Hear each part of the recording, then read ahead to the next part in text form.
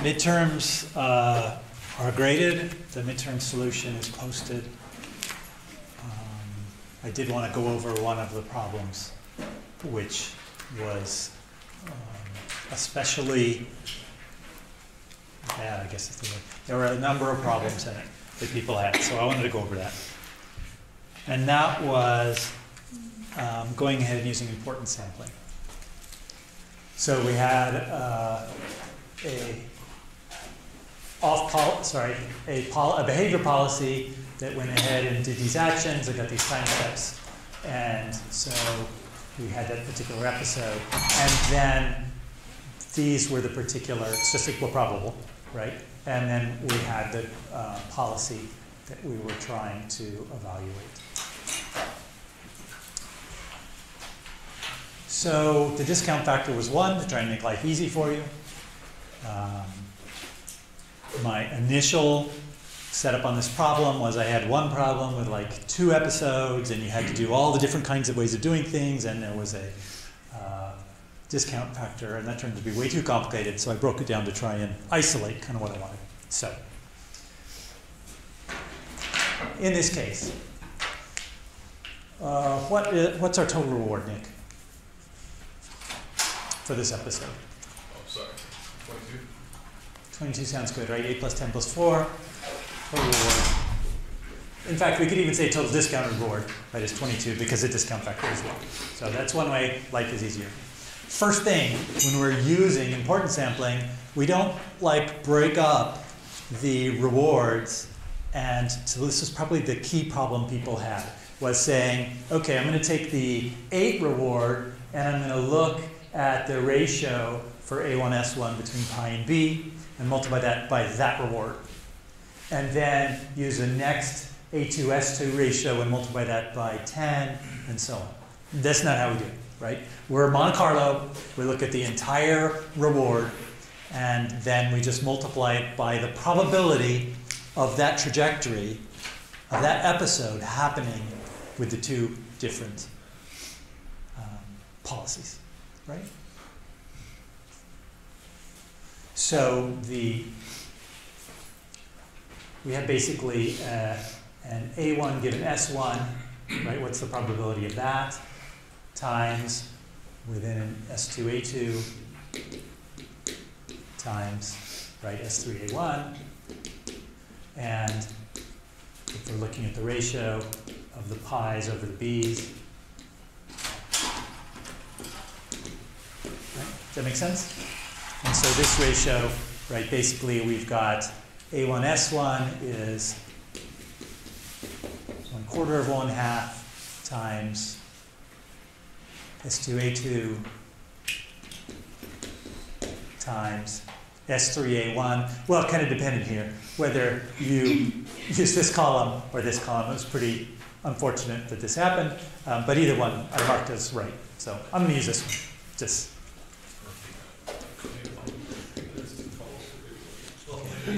yeah. So one person pointed out, uh, corrected that, uh, and then it was 50-50 as to when people use column one and column two.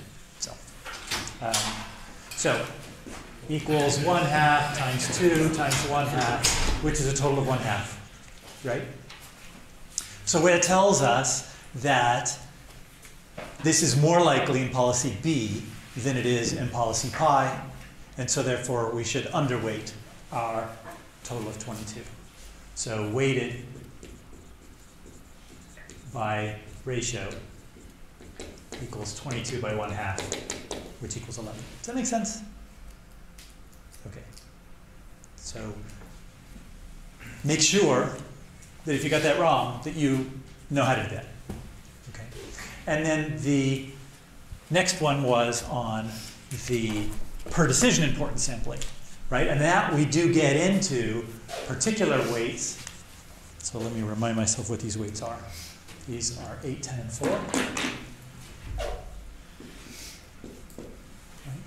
And so here we look and say, okay, for these particular weights, sorry, for these particular rewards, how many of them don't depend on some of the factors in this term, right? So if we look at the first reward we get of 8, It depends on our A1 given S1, but it doesn't depend on these.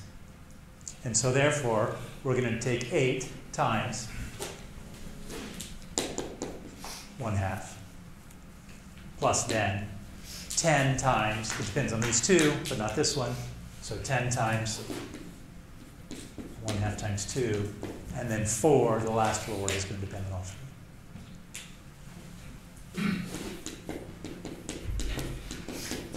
And I realized I left off one more problem, and that was because we actually had in part A two questions. Right? It was not just what's V, it's also what's Q. And most of you just said, well, V is equal Q. But V is not equal Q. Okay, let me explain why. If we look at V of A1, right? Basically, if we look at VB of A1 and sort of V pi of A1, our estimate for BV of A1 is 22. Is that supposed to be a state? First off, that's an S. That's an S. And your question is? Was that? Uh, that was- Oh, that was a question. Okay. So we multiply by what is the probability of having achieved this in um, the sequence of events in pi, and it's half of what it is in v. Okay, right? We got that. But it's different than if we look at q, because if we look at q s1a1 with respect to b, and q pi s1a1. In both of these, we are saying, given that we're taking a1 and s1, I don't care how we got there or what policy we used to get there, from then on we're following the policy. So therefore, this part doesn't matter because for both of these, we're saying we don't care about the policy. The policy does not affect the choice of A1 in S1. It does affect from then on the choice of A2 and S2 and A1 and S3. So therefore, we lose this factor. And so we're back to, right, this is 22, and this is 22 times 2 times 1 half. Does that make sense? It's a, it's a, I agree it's confusing, but just keep in mind that definition of Q. Take the action in the state, then follow the policy. So that's the one I wanted to really note of all the problems. And I enjoyed uh, reading about your different uh, sort of uh, exploration versus exploitation uh, in real life. So that was fun. Restaurants and studying and what classes to take and all that stuff.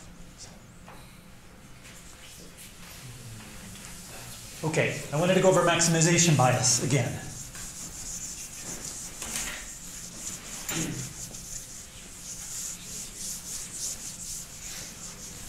So let's say our job is to estimate the average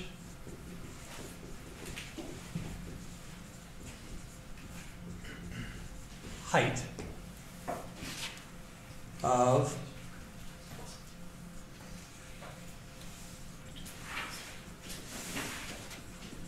let me see how did I how did I word this I worded this much better just a second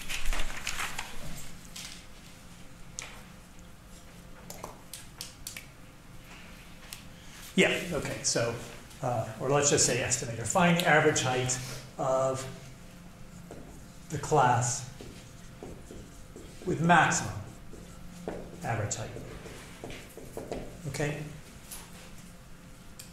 That is very similar, right, to the problem we have, uh, for instance, trying to find the max action, right, the value of the max action. So let's say we've got a class, and these are heights along here, and the dots are different samples. So this is, let's say, our basketball class. And we've also got our jockey class, right? So the way these are done, no matter which element we take from here, right, which sample we take from the ba- basketball, then we take a different sample from the jockey, the basketball sample is going to be higher than the jockey sample. So we could assume, yes, this will be the correctly the maximum class. And if this were the scenario, then whatever instance we chose would be a reasonable choice as the average. Okay? Does that make sense? Right? We choose one, we choose these. They don't overlap at all. This group is always going to win. So, from this group, the sample we took is a, a reasonable representative average. But the problem comes about if we've got, let's say,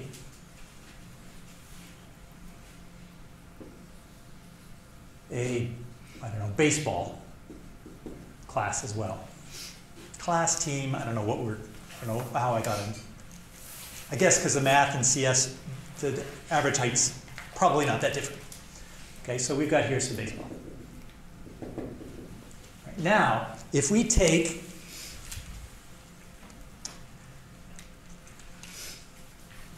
Let's say we take a sample from here and take a sample from here, and the baseball one wins. Okay? It's not correct. It isn't actually the class that has the highest average, but we could end up with a case where we take a tall person from the baseball class and a shorter person from the basketball class and the baseball class would win. And our best guess would be okay, this class has the highest average height. However, so we pick this guy. So we pick this guy and this guy. Okay? And this is higher. So this one wins. Is this a good estimate of the height of the people in this class? No, by design, this one is a big one, right? This one is an extreme one. So by design,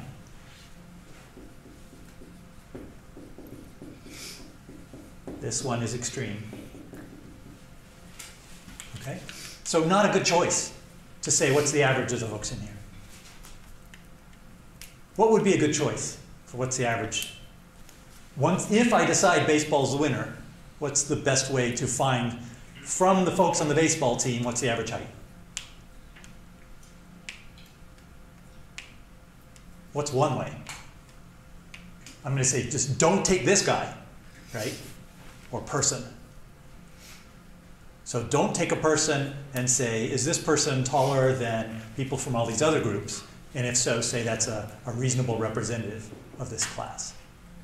Instead, pick, close your eyes, randomly send someone out of the class, measure their height. Okay, I close my eyes, I pick one, it's that one. Oh, it's right in the middle, that was lucky. So, does that, does that make sense? Why we are biasing our estimate?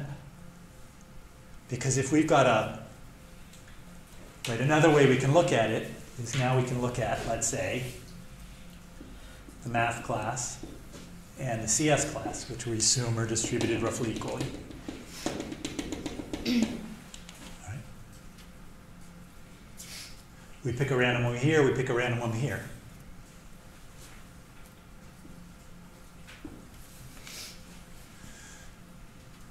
This one's higher. Right? Which of these classes are we choosing? The one we happen to choose a larger sample. So we're biasing towards choosing the class that has the representative that's higher. So don't say this is the estimate. Pick again to get an estimate. So in terms of like uh, translating this to actually, like, like say to actions, would like choosing baseball be like synonymous to choosing the action? Yeah. The thing you get is like the uh, environment giving you a reward or something? So these are equivalent to our value estimates, right? Or our Q estimates, our, our value estimates. Right? So our value estimates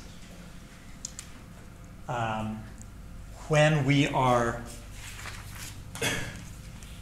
going ahead and doing Q learning, right, we say Q of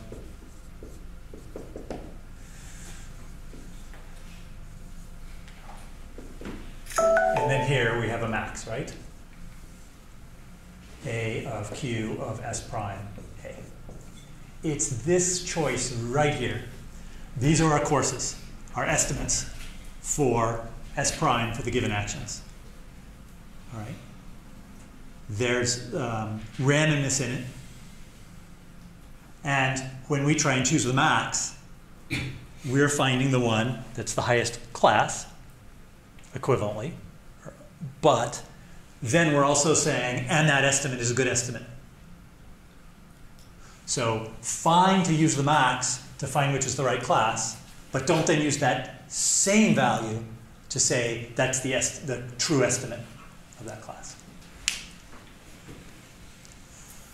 So, yeah. Uh, can you do this process like several times to get like a more accurate, like for example, let's say with the basketball, baseball example, like s- sample once and then s- like sample three times Sure. and then like Yeah. take like the majority or something. Yeah, you can, al- you can always take multiple samples and that will give you better bounds on the mean. But that's Sure. not what this does.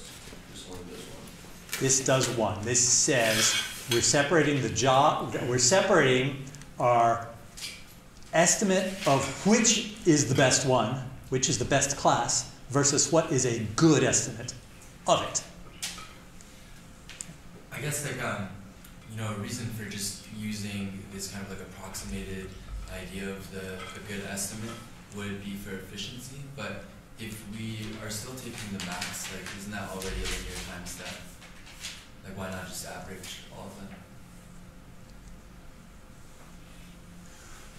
So let's look at the estimate that we have as it's an estimate, right? Drawn from some distribution. So all our estimates are just estimates Okay.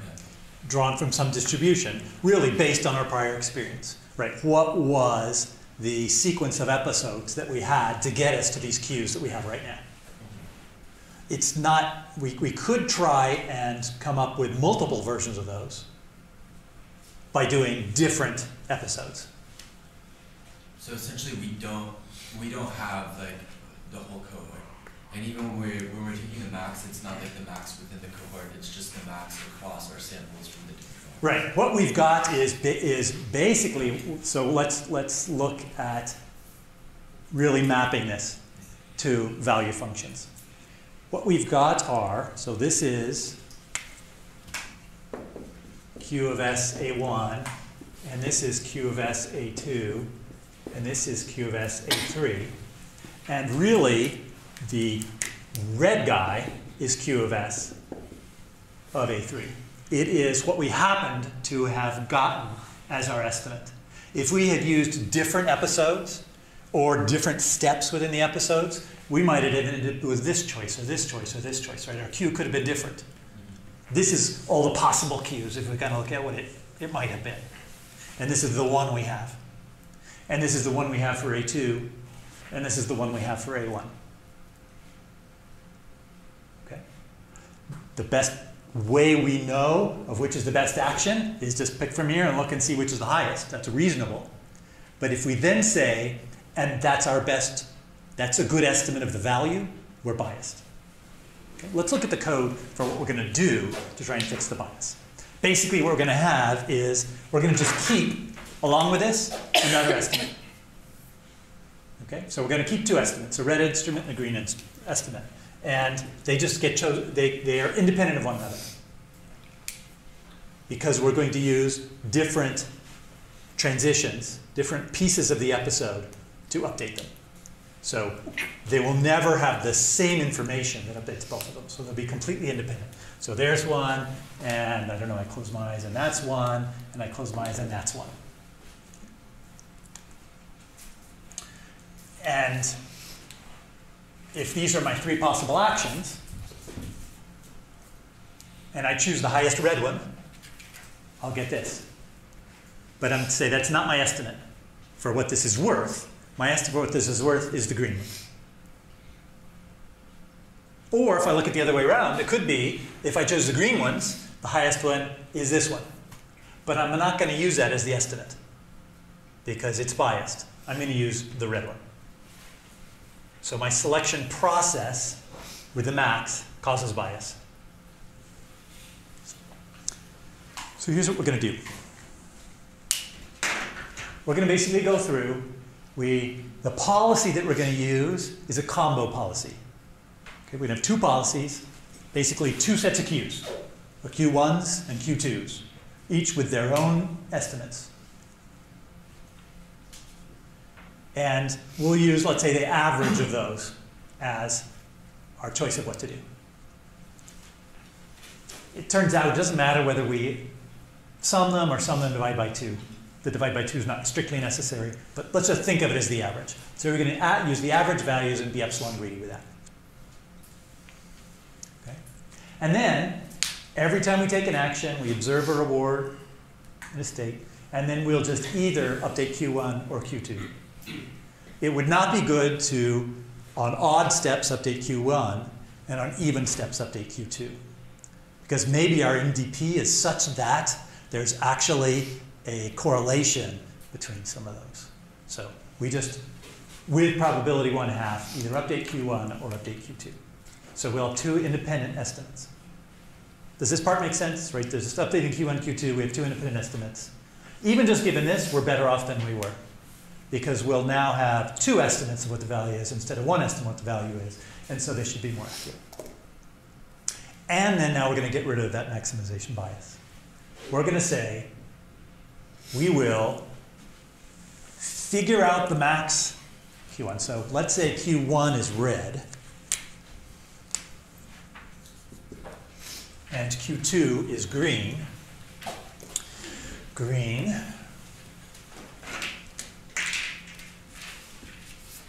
So we have flipped our coin and decided we're going to update the reds. So we're going to find the highest red action. That'll give us this action. And now, that action, so that's the highest red, and the action is that first action. And now we're going to say, okay, what's our estimate of that action with our other estimator, with our other Q. So that'll basically say, get this green. Use that as our value.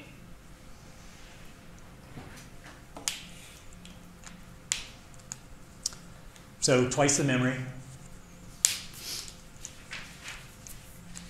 Uh, each of these is updating less quickly because we're only updating half the time. On the other hand, we do have the average that we're using. And this thing is not biased. Why does the bias matter? Because maybe we're going to tend to try and choose some actions that we shouldn't choose. Right? We think if we go over in that part of our maze that some good things will happen, but actually, it's not good.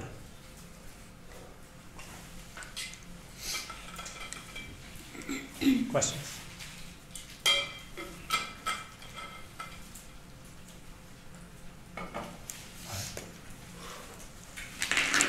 And an example they use in the book, there's a bunch of different actions. Because the more actions you have, the more variability is, the more there'll be some extreme maximum value, and then you'll be using that as your estimate.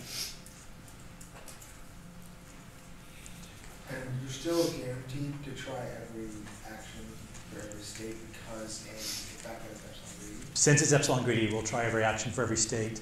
And since we have this probability here as well, we're going to update Q1 and Q2 for every action every So, state. so in the case where you chose the baseball first and you get the maximum, eventually you'll do the basketball and you'll know that that's actually a better action kind of thing. Eventually, we'll be trying it, right? Eventually, what will happen is, yeah, we, we will be doing more episodes that use this Q and S1. And so we should expect to see some of these other values in here. Or rather, over here, expect to see if some of these. Yeah, we'll see it'll yeah. Yeah. Yeah, this one will decrease, this one will increase. Okay.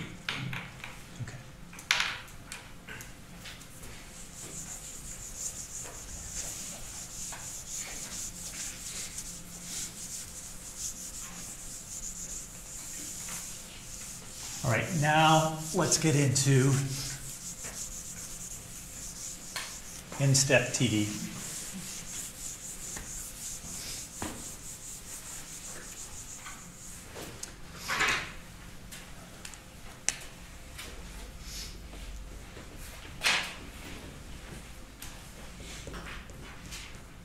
also called TD of n.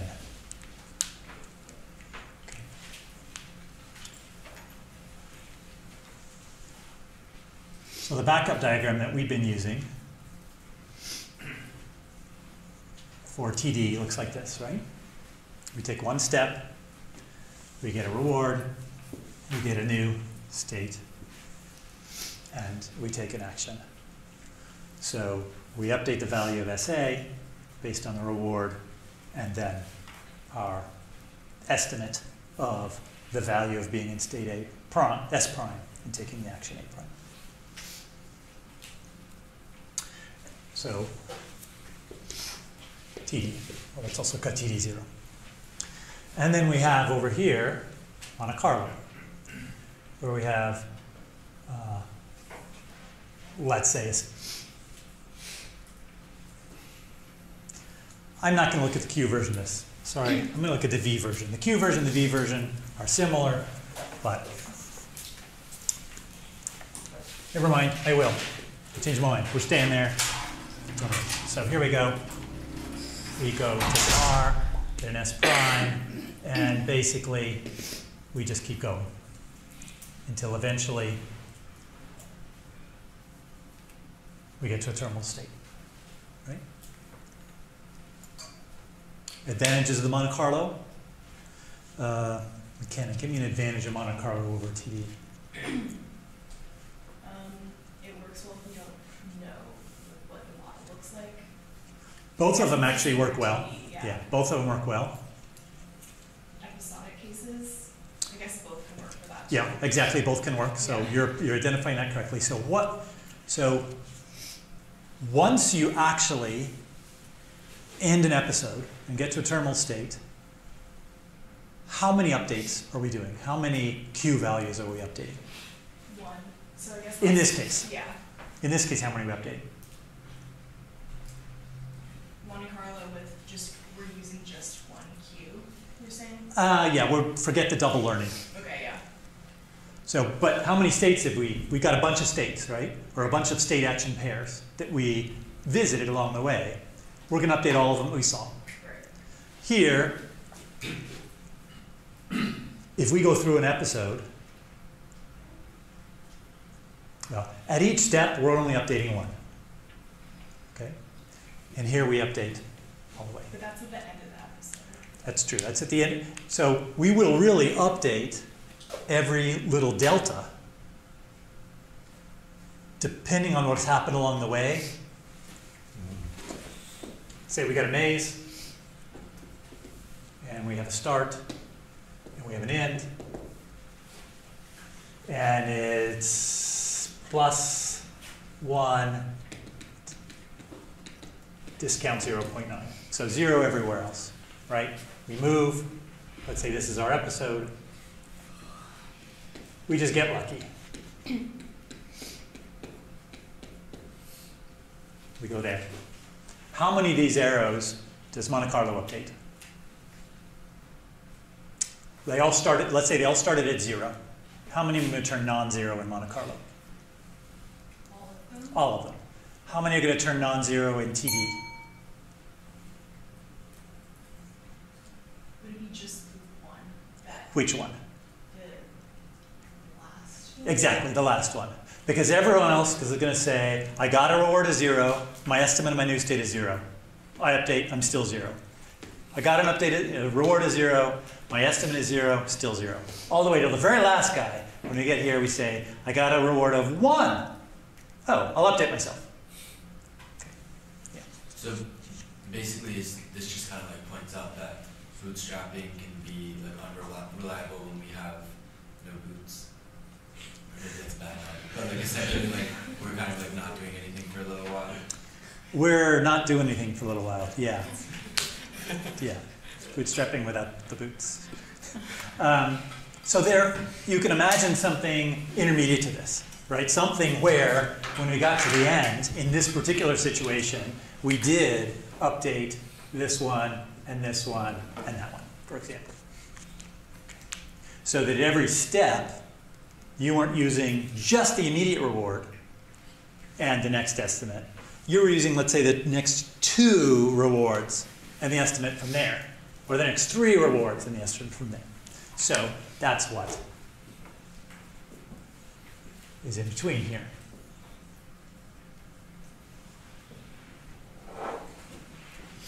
So we get a reward here, and we get a reward here.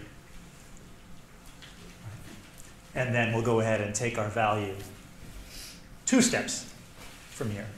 Or, in general,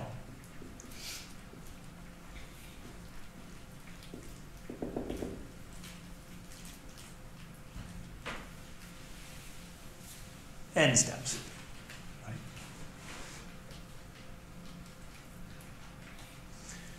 So if this is n steps,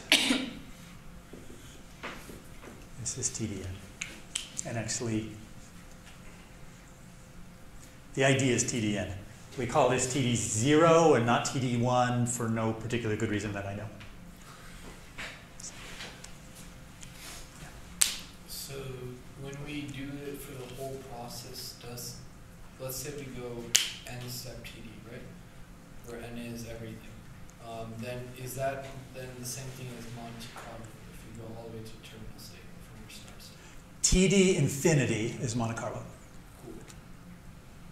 right? Because TD infinity says we're going to update basically once we get to the terminal state. TDN is not quite Monte Carlo, right? Because of the fact that we could have a continuing, a, a, a non-episodic task. And as long as we took n steps, then that would allow us to do an update. Now a key here is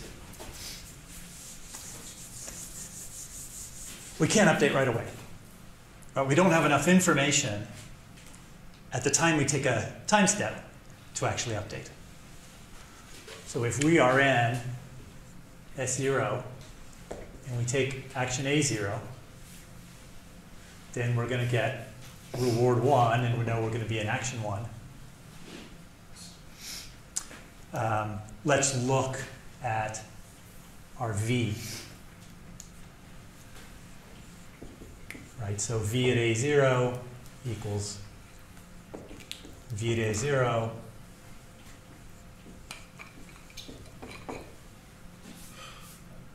Let's say we're doing two-step. Yeah. Should that be S? You know, what is it? That's twice today, huh? Thank you. So actually, let's just look at, this is one step. Right, so that's okay. We could do this, one step, right away. But if we're doing two-step,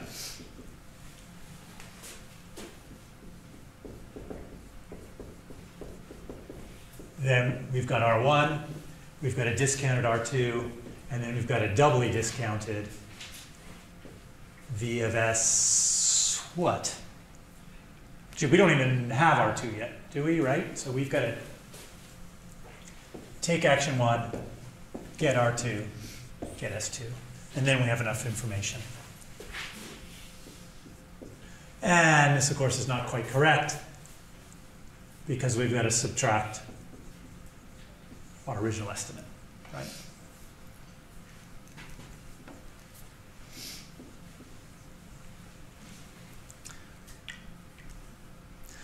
So in practice, how does this work? You take a time step, right, starting at the beginning, and you don't update anything. You just save the information. In fact, if you're doing n-step TD, you take n steps, saving, saving, saving, saving, saving, doing nothing, and then after that in step, you can do an update of the first one. And then every time, take a step, save the information, update in back. Take a step, up, update in back, and so on. Uh, so you're keeping basically like a rolling buffer, so even real time is requiring a lot. or it's requiring n memory, It's requiring in memory. Yeah, it's not or n is it's not that bad, right? Because it's really just the state action reward times n. So it's not like some states times action. So. All right, so let's look at kind of how this works. It's, it's, it's, uh,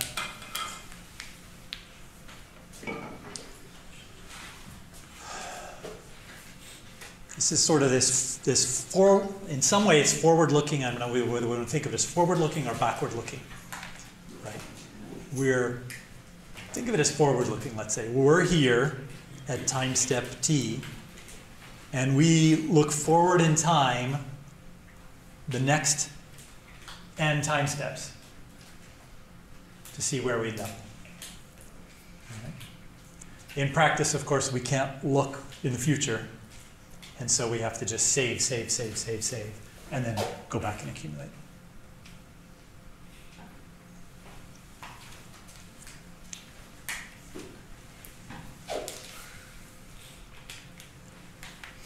So this algorithm has a lot of subtle technicalities to it. So it needs to work both in a continuing or episodic case. So again, we've got this, after we have the first n steps, here's actually how I would look at it. Unless we're done, that is, we've reached a terminal state, we take a step. And then we look back n steps and say, as we look back at those n steps, is there actually anything back there? Right? Is that before we even started, before time step zero or not? If it's before time step zero, we don't do anything. Otherwise, we go back and update that one. And then take another step, look back, n time steps, update. Take another step, look back, update. Eventually, we may become terminal, right? We reach a terminal state. In which case, we've still got to work through those last n um, time steps and update those. And those will all be updated just as if it's Monte Carlo, right? Because they're going all the way through the end of the episode.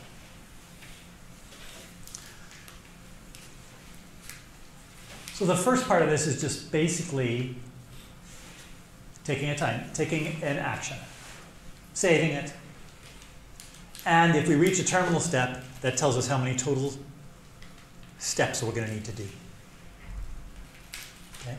The algorithm is also really useful, especially if you're reading out loud, because it distinguishes between capital T, lowercase t, which is the time step, and tau,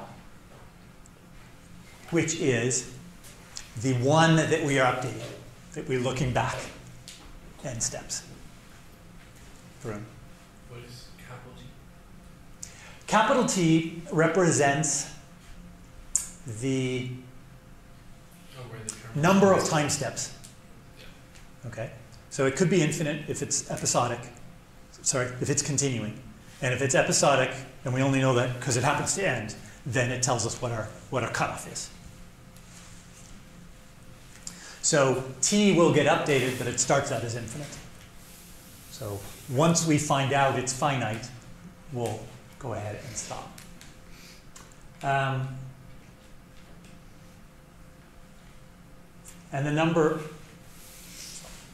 we take an action, and then we look back our n steps. And then if, when we look back, that's greater than or equal to zero, okay, that is, we're not waiting to fill the buffer, then we go ahead and calculate our discounted rewards.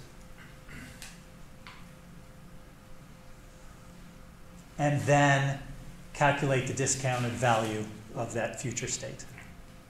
And what we do here is basically say, if we're within t of the n, sorry, if we're within, n of the end, we don't care about the terminal state. We know the terminal state's value is zero anyway. And so we just look ahead n steps. If we're past the end, don't count it.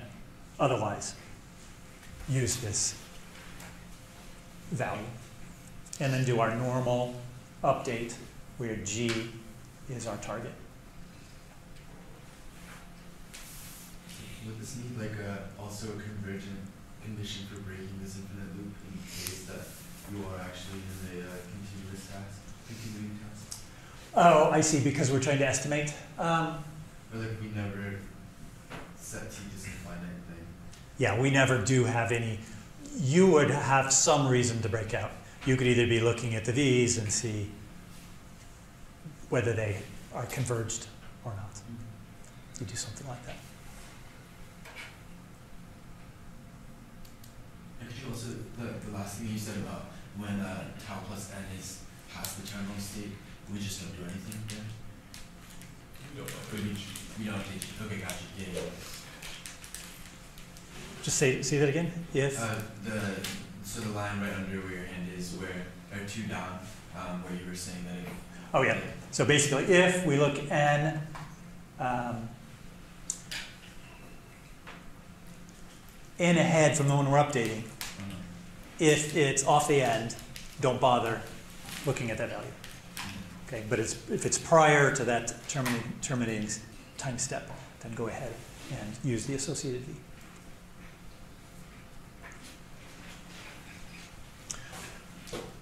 All right, let's try an example.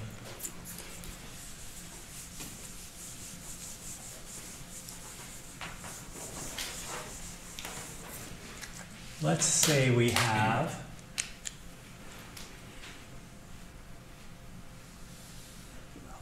Gonna look like this. Make this look better.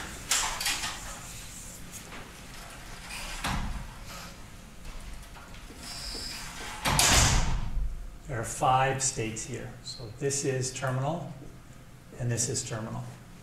And we are gonna get a plus one here and a minus one here. And this is our start state. So we're going to call this start, left, and right. Maybe middle, left, and right. Okay? Terminal here, terminal here, zero everywhere else.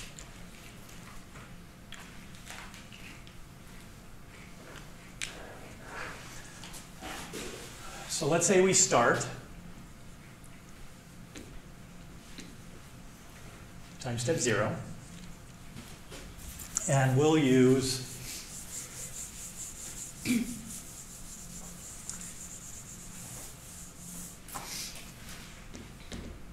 n equals three, let's say.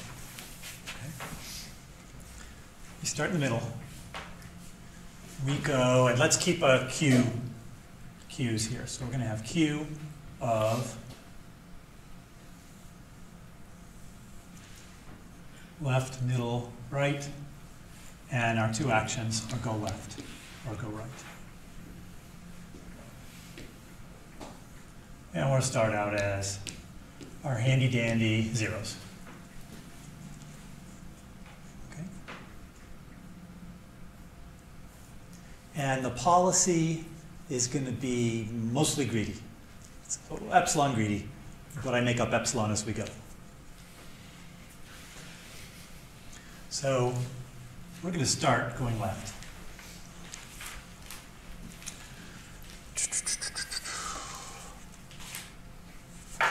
Josh, you want to come up and do one step of this? Well, we're going to, you. So we have n equals 3.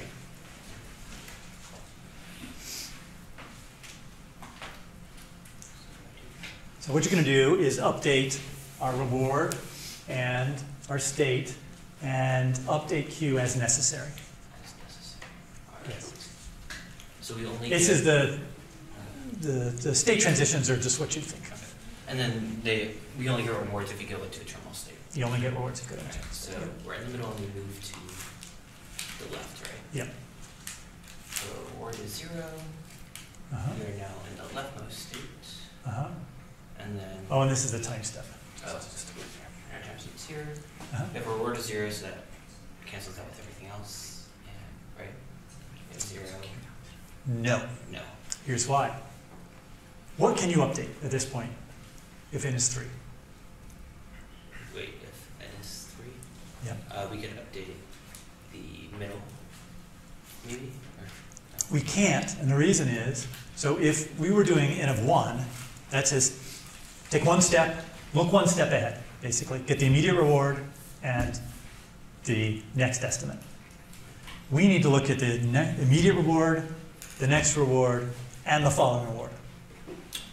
Oh, So we don't have enough information yet to update. okay. Okay. Does that make sense? Right, because our update is going to be Q of SA plus equals alpha, we'll have to make up what alpha is. R1 plus R2 plus R3 plus.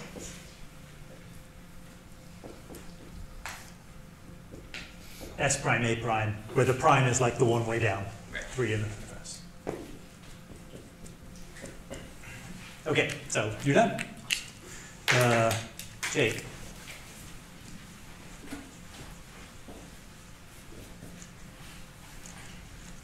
And if anyone has questions, throw them out. So which action am I taking? Uh, you're taking, um, that would be too easy, right? Greedy. Yeah, but just if I look at greedy, greedy is like, could be either one, so, right. Yes, sir. Because we don't know about the transition yet. Yeah, obviously. So up, got a reward of zero. We're in the middle. Do we update anything? How many rewards do we have so far? Three, How many rewards do we have so far? two. Okay, two. So therefore, we know we're not, we don't have enough, right? Can't do it. All right, next, uh, Dave. Josh. Um, so since like our rewards that we're getting already kind of match the Q, like the values that we are expecting, could that mean that we might converge too early because like we're noticing that like oh we have a reward of zero, it's matching our expected reward of zero. Could we like could now? We'd have to wait until like nothing is converging, Uh, right? If something is converging, we're not done. All right. Uh, which way do you want to go? What's greedy say to do? Was what? What does the greedy algorithm say to do? Uh, choose randomly. Yeah, I mean, left or right. Uh, I actually had up for this example, and then it was like too many actions. And down. Um, let's go right. Up and down or just stay in the same spot, right? Yeah, exactly. That was, it was just to add more complexity for no pur- apparent purpose. Okay, so you agree with that? Yeah? Zero? Anything to update? I think so. Okay, talk to me. So there's three rewards now, Yep. um, but Oh, I forgot. These, these weren't zero. I'm sorry. Yeah, these were uh, one, wasn't it? Yeah, that fits the greedy actions I took. So they were one. Go ahead. um, but then I don't know what discount factor. Actually, that isn't quite right. This was one, zero, two, five, three, six. Wait, that, that doesn't. There's, remember, there's always epsilon in there too. Uh, Yeah, okay, go ahead. So, what's gonna get updated? Uh, Q of SA, What's SMA? uh, In fact, here, circle in red, what's gonna get updated? What state action pair?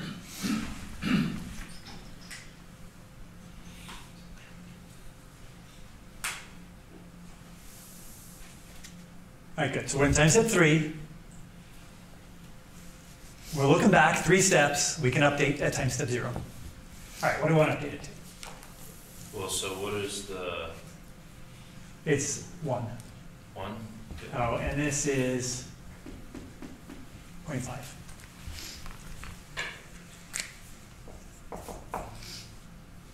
I just said 0.5.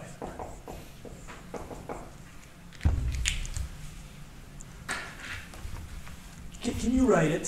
I'm just guessing we're going to need this space in just a moment. Yeah, two yes. I have it right over there.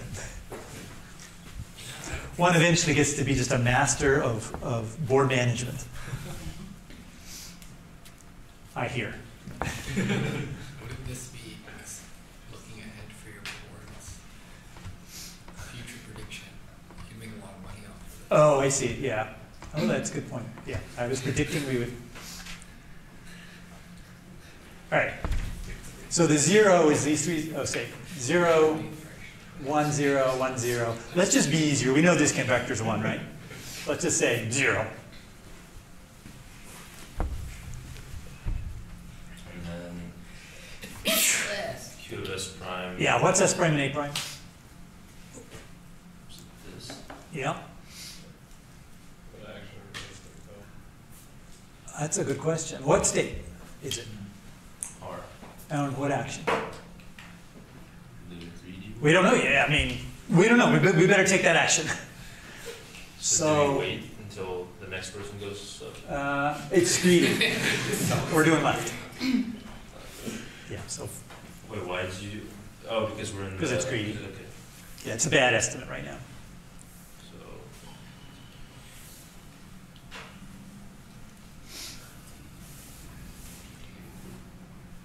Which is equal to six. Yeah, and L is very confusing using my left arrow for here. Oh, Yeah. States, actions. Yeah. Okay, so that's it. But then you have to subtract.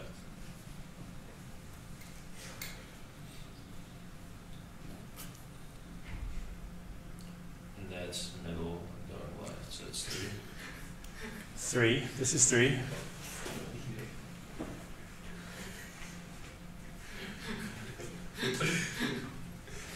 This is zero, right? Yeah, it's, this is right. Is this correct? Is it correct? Is it correct? Sure. Yeah. Yeah. It's look alright. Q of R left is So it's, six, it's just one. of which you have right here. Yeah. So. One point five, so one half of six minus three. Yeah. So our target is six. We're at a three. Or is this where we are? Yes, here. Our target is six, we're three, and so we should go up. Okay, so four point five, right, make it simple. This is not going to scale. Erasers do scale, yeah.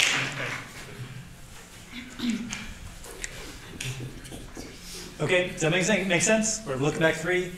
Uh, next one happens, we're, We took left. We took. we took left, that's important to mar- mark. No, we definitely took right, because you said we're taking the greedy action. Yeah, Greedy. the reaction was. Greedy. clearly Oh, left. never mind, I can't understand arrows. It's the, it's the whole LMR thing. Yeah. All right, Yeah, sorry. Julius.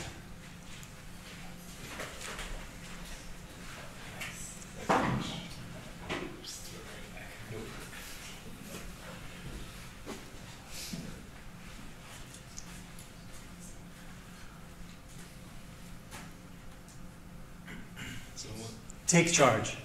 um. Sounds good. Uh, so you take left, Yes. so you go to middle. What's Yes. the reward? Zero? What's the reward? It's zero. It's zero everywhere except these two. So look back three time steps, Okay. right? So like two. Three. Well, here, there's two ways we can look at it. One, four minus three is one. Second, we just did this one. This must, must be next. Right. So All right. Here, I'll circle it for you. And you don't have to write the whole equation, but if you want to, you can. Um, so you wanna update this, right? Yep. Uh, So that's, that's one.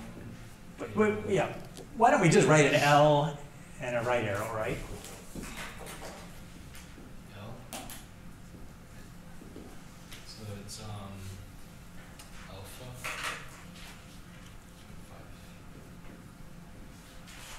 R one is zero, gamma, zero.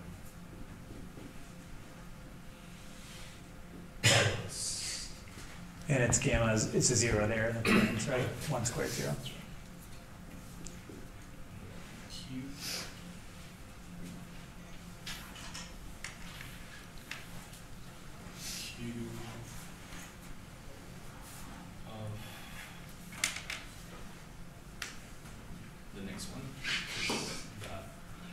What, wait, wait, nope.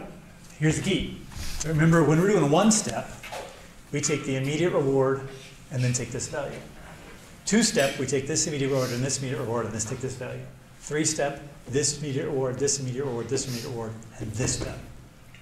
Does that make sense? So it's, so it's, because we're taking these three steps, we've got to use three steps down for our value. So Three what the state, the state in action value, three steps from here. Okay, so what's, Uh, let's go right. I want to end this thing. so.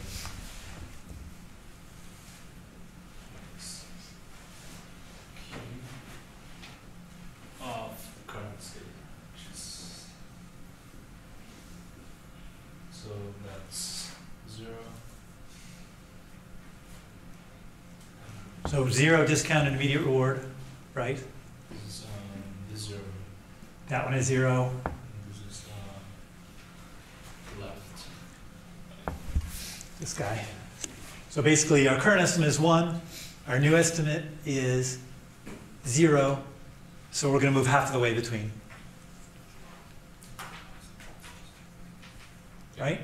I mean, that's. I want you to think of it that way, and don't think of it as much of I've got this long formula that I put in. Right? It's I've got a target, which is this. I've got my current value, which is this. Move me part way there. So my target is zero, my current, my current estimate is one, I want to move halfway there. Because that's my uh, alpha. So It's just zero, this is zero, plus point five. this is zero, right, one plus equal negative 0.5. Yep. So this guy is, okay. Uh, Shannon. And we're gonna get a terminal state at this point, thank goodness.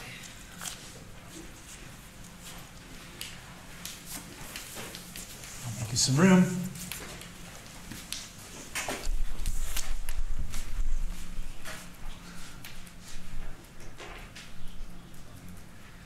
So we've already decided we're moving, right? Uh, in fact, yeah, we're ending, I'll tell you, oh yeah, so we, we already decided step four, we moved, right, yes.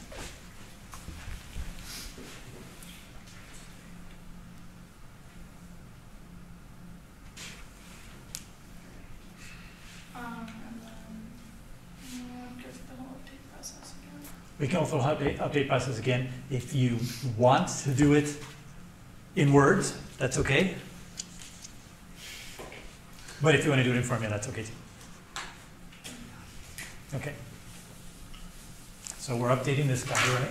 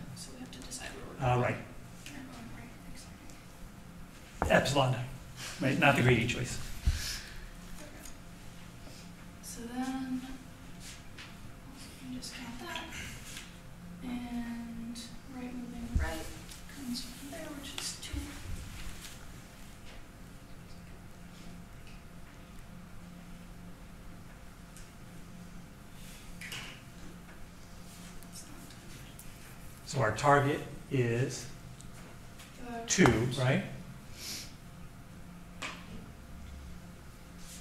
Which is. Isn't that right? Because it's 0, 0, 0 plus this. This part? Yeah, this part. This is, isn't that 2? And this whole thing is our target. This is our best estimate, right, of, of what this is. So our target is two. Our current value is, Zero. zero. So we need to move fifty percent of the way from zero to two. Which I assume the math is gonna tell us to do the same thing. Yep. So if you'll update the chart, the uh, Q, here. all right, and while you're sitting down.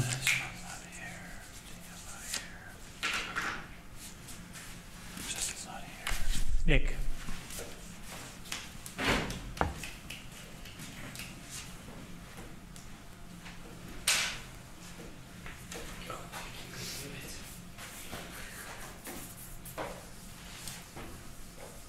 He is also foreseeing the future. Not far enough because you could reuse a lot of that. That's true. Zero. Okay, so now I am going here, times that six, we get a reward of one from that, we're gonna be in the terminal state, Okay, so we don't care what action we're in. correct. Um, so now, we're gonna have whatever our Q estimate is, we wanna update R and going left. And from there, we're gonna have our alpha being one half, and then zero for the immediate reward. We wind up being in the terminal state, which also has a value of zero. Um, in our current estimate, Oh, no, no, no, no, no, no, no. What's that first zero represent? the three rewards appear, right? Uh, which? Well, sorry, since we're starting here, we should be going these, so it should be actually one. I'm liking that better, right? Everyone agree immediate reward of the total is one? And the plus zero, it depends how we implement it, right? We can either talk about the terminal state or we can just Ignore it, ignore it. Either, either one is fine. okay. So, wait, does does that make sense? Because the next ones we do, we're not gonna have any. Yeah. Well, 'cause- sure, go ahead and put in the zero ones. I- I don't, I'm sorry, could you explain that one more time? The, the R one is supposed to be the one that, like R four in this case, right? Yeah. this R one, yes, would be R four. So, is it, Why is it a one? I, I'm First, second, and third. oh, okay. Yeah, he took, he, he like did multiplications by one and he squared one and cubed one, like all in his head. Wow. Sorry. So, Um, And then we're, our current estimate is, um, right going left, which is a value of two, whoa, right? whoa. Oh, sorry, I can't read. Yeah, you and Varun need to have some remedial arrow training, Sorry. so. Okay, so, uh, we get negative five, negative five, and uh, so negative two point five. So our target is one, we're at six, we need to go halfway between one and six, two point five. Sounds kawaii minus. Uh, is it not subtraction on? the- Oh, it's still a plus equals negative two point five, is that where we're at? Yeah, Okay, so one to six. We're at six. We want to go to one. Halfway between six and one is three point five. Six minus two point five is three point five. Sounds good. Yeah. Okay, so that's three point five. All right, Sean, you're up.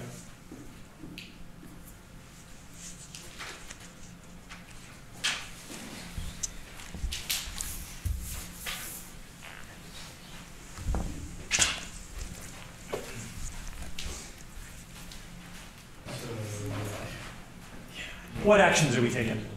Nothing. Nothing. I like it. Okay. What state are we updating? There's state action.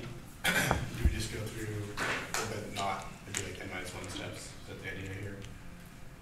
So we start here, or do we just cut it off entirely? We basically, this is the next one. And if you want to try that fancy in your head stuff, you feel free, I'm gonna shot. but you need not. Q, uh, right. Uh, equals point five times, uh, one. How many, s- you, you did three taps, Two, Yeah. one, because Nick did three taps, now we're gonna be down to two taps, for two rewards, right? So mm-hmm. zero with a no discount factor, one with a single discount factor. And now we will not do anything with any future, with any states, right? We're just the immediate rewards, because that's all we get. and the expected value would be zero. Actually, hold on a second, the one squared, we don't have any one squared. Well, this is, this is the, this would be instead of like, you get rid of this. Oh, term, oh, sorry. And this becomes a square, right? So if we lose this one, we lose this one too. Oh, Right. so If we look at it, okay. We know exactly what our reward is. It's this, plus this one discounted, and then we're done. We know we're never getting any more reward. So there's no reason to do any updating. minus this, which is a one. Target is one, So we have we're a one, one minus a one, five, the value is half. Right? doesn't seem reasonable. Let's see.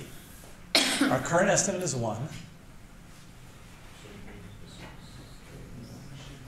Our target is one. How about this?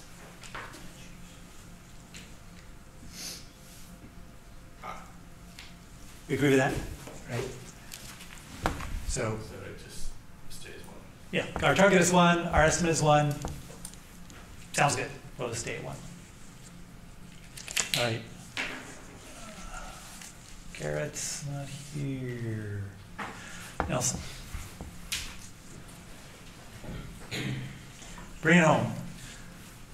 So this is the tail end. We're not taking any steps. We're just going back and finishing our saved updates. Um, So we're trying to update this one. Yep, we update that one. The reward is one, Reward is one. I agree. the target is. one. Target is one. I agree. What's our current value? Two, so we just go halfway. Wow. All right.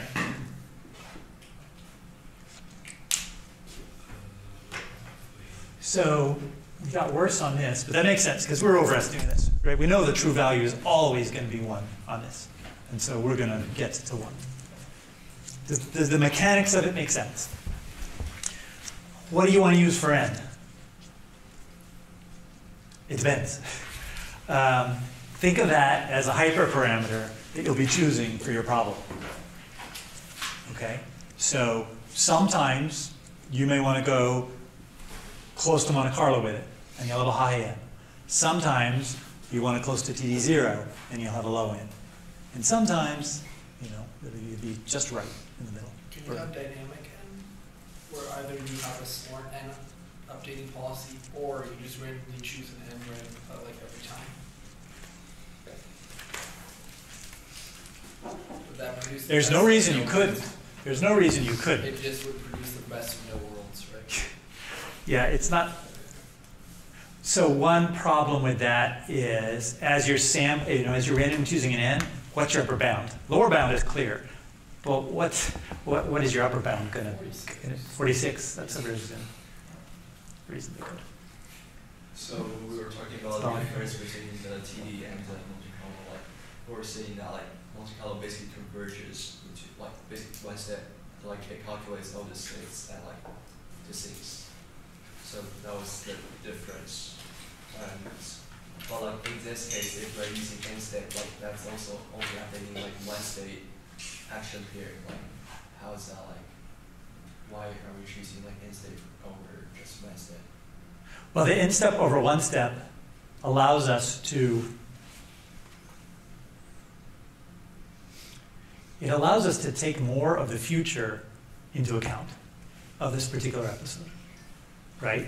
The one step just uses the immediate future, and the um, taking more of the future account is more precise because we actually see what rewards we got as opposed to just uh, using our estimate of the next state or the next state action pair to uh, represent that.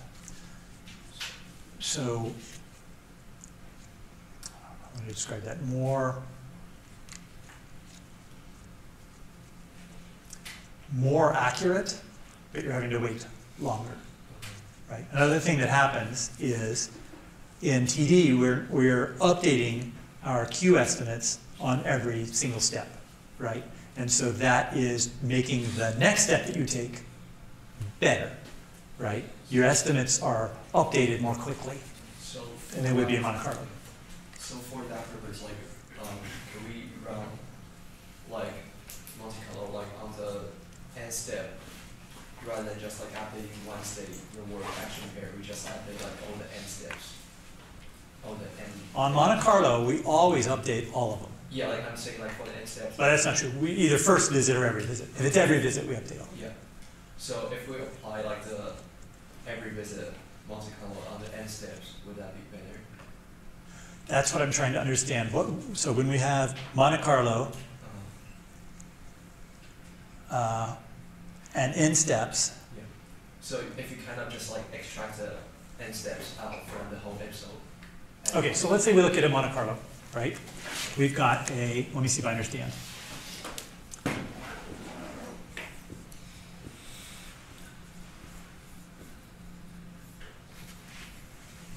And you're saying we extract like some n steps in here? Yeah, like, like what we did like with the n-step TD. Yep, okay, and, Then like we just use like the subset as uh, like a data set to calculate the, to estimate the um, reward. action. this is when we're doing Monte Carlo? Um, Is this a modification of the Monte Carlo algorithm or a modification of the TD algorithm? oh, it's a computation of both. Okay, so remember Monte Carlo doesn't bootstrap, right? Monte Carlo doesn't care what your initial values are.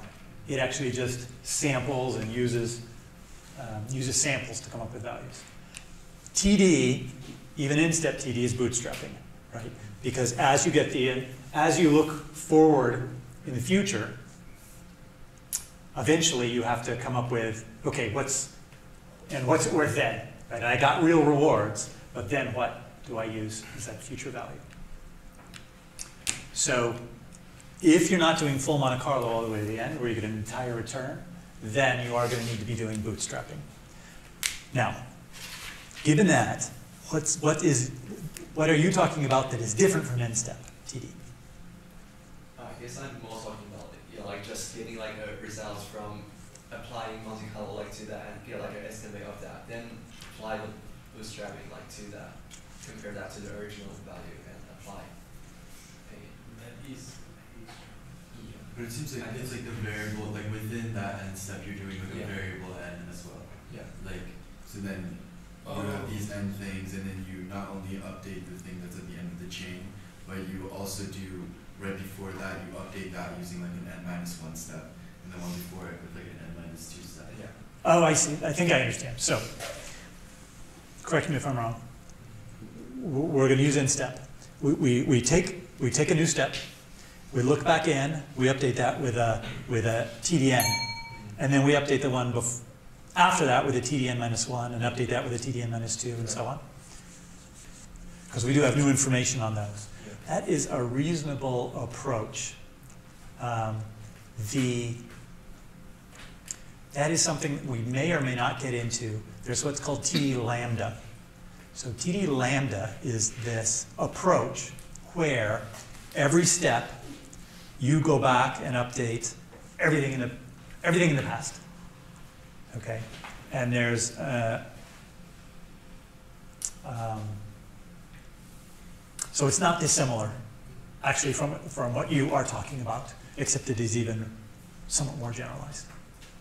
Uh, so kind of off of that, kind of off, I think what we talked a couple classes ago, if we were to run this algorithm again on the same data. Monte Carlo would not give us any infor- any new information, but running TD on, again on this, um, on this single data set would give us more information and eventually we form values that converge to what Monte Carlo would give us, right?